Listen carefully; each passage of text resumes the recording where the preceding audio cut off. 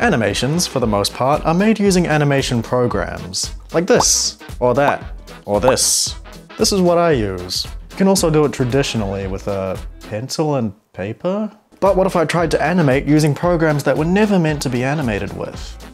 What then? Uh, it would be difficult, I think. But how much so? And what would it look like? That's what we're gonna find out. This was heavily inspired by these two videos, so shout out to them. Time to animate. Alright, we're starting pretty easy with a program you're actually supposed to draw in. You're not supposed to animate in this, but fun fact, I believe my first ever digital animation was made in MS Paint.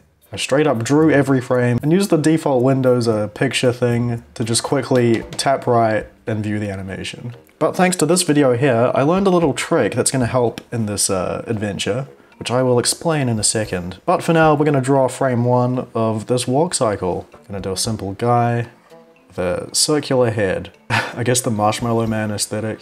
Do a slight lean. It's probably a bit big. Now it's very important that I use the pencil tool as opposed to the brush tool. I think he deserves a face. So now I'm going to save this in a folder specifically for this experiment as 01. And now here's the, here's the trick I learned. I'm to make an onion skin. Normally in animation you can see a sort of transparent version of the last frame. In Paint that's not to be possible. But if I color this pink, oh god, See, sometimes this just doesn't work. Uh, I'm just gonna try this. Okay, scribble, transparent selection is on. So with black and white as the two colors, Control A, select everything, Control X to cut it. Now turn color to, to this gray. When you paste, the gray is gone. Uh, that's the idea behind the onion skinning. Uh, we're gonna try again on the next frame, but for now I'm just deleting this and estimating where it was. So he's gonna come down a little. Let's, uh, we have to press save as, not save because it'll overwrite. Save as O2. Brilliant. Now will this fill in with pink? Oh, yes, it actually worked that time. Now we're gonna have the fully up position. Leg is crossing over, arm crossing over as well. The other, the other arm can just be hidden. Now let's see if this works. Select everything. I'm gonna try and get rid of the onion skin. Control X change the second color to pink, paste, and it's gone. Magic. I almost pressed save just then, which would have, uh, wait, no, I did press save. Not with control S, I pressed the save button instead of file. Uh, second frame is gone. I'm gonna have to do that again. Wait, I can control Z enough. Okay, saved. We have half a walk cycle loop. We have to switch limbs. Let me fix frame 2 first. Now we make the back limbs become the front limbs just by doing this. Voila.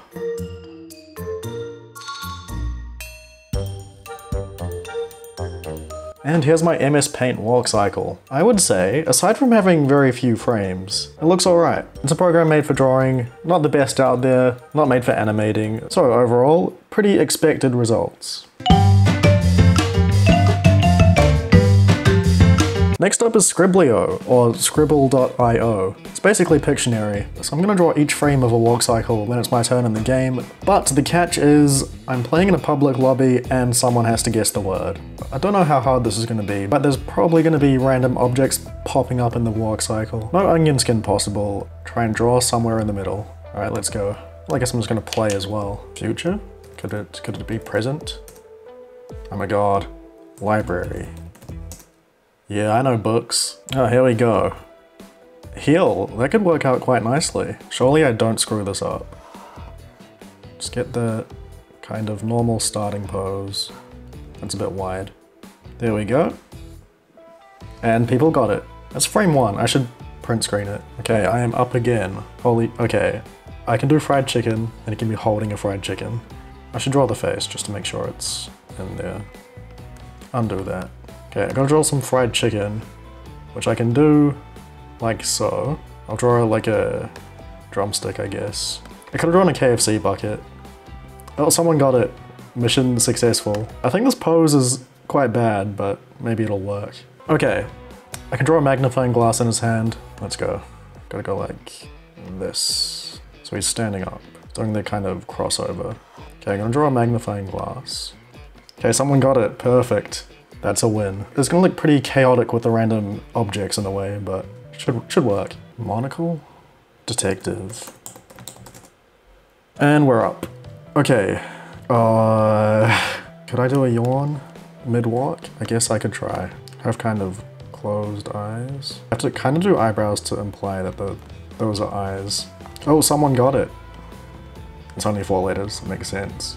All right, job done. That's all I really need, four frames for this choppy loop. I don't need to switch limbs because it's a stick man. Well, it took half an hour just to do those four frames, but let's see what this, uh, let's see what this loop looks like. Okay, uh, I think that looks like a walk cycle. That's not terrible, honestly. If you ignore all the surroundings, you can you can see the vision. Uh, now, do I need to blur anything? Definitely do have to blur something. Cool, well that was a rousing success. FL Studio. I was randomly putting in these notes and it kind of accidentally sounds like Pirates of the Caribbean. Does it?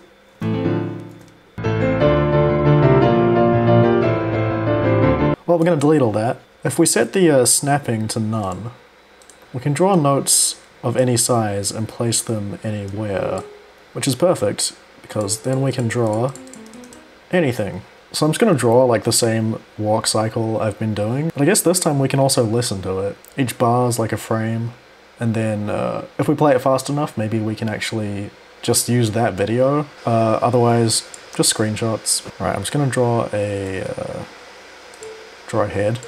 Good enough. It's a lovely torso. Sounded a bit cannibalistic there. I'm thinking I need to go even smaller on the pixels. It's a decent first frame. It does fit within the bar. What's that sound like? Gorgeous.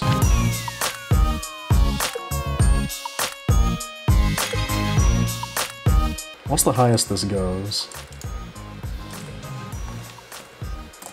522. Okay.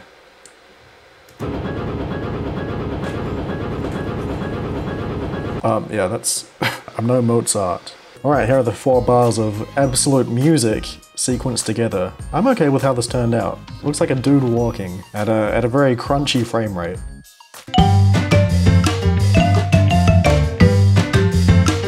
For this one, I'm to fill it up with a bunch of dots and use O's to draw the stickman. I'm sure I could find something that converts pictures to text, aka ASCII art, but I wanted to do it the old-fashioned way. I know all the others so far have just been screenshots put together, which is kinda lame, but this time I can actually do it all within Notepad. If I press page down on my keyboard, I can jump down a page in Notepad, which will look like going to the next frame. As long as each frame fills exactly one page and I press it fast enough, it'll look like an animation. And I can't just hold it because it'll go too fast. Well, not much to say about the process, it was, uh, it was pretty easy, but a touch tedious.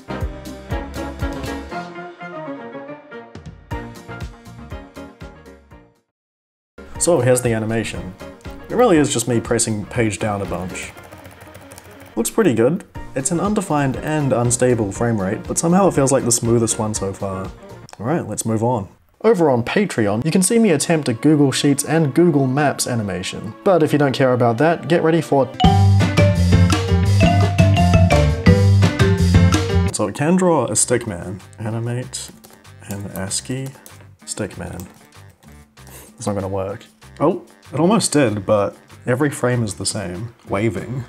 That's not what it's doing. Animate, stickman, walking.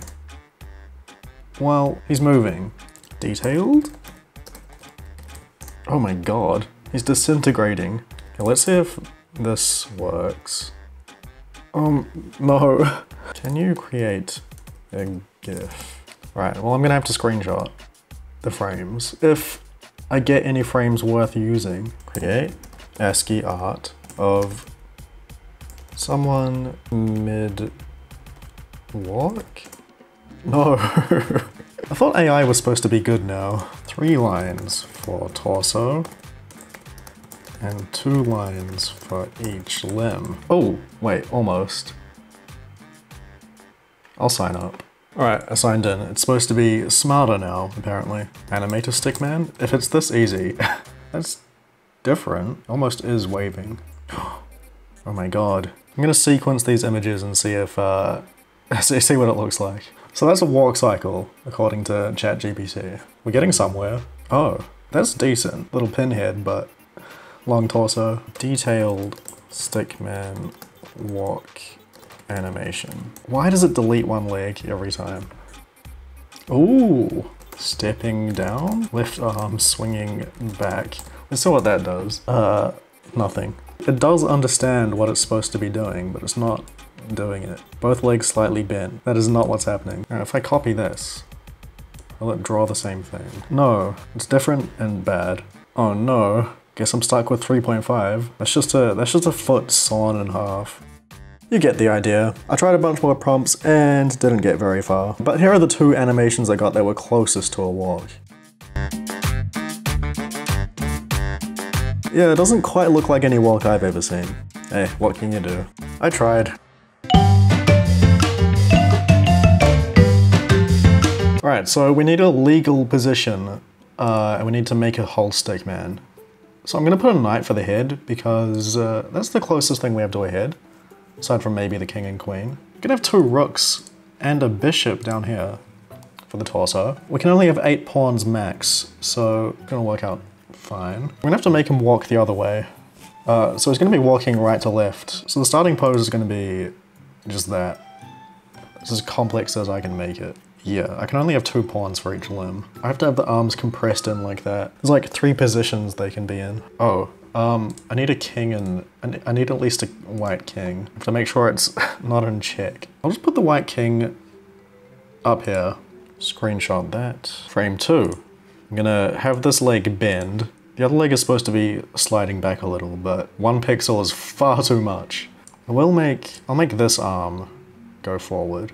I genuinely have no idea if this is gonna look remotely reasonable. Oh god, the leg's crossing over. It's not gonna be a pretty sight. Frame three, we straighten out this leg. We have the other leg crossing over somehow.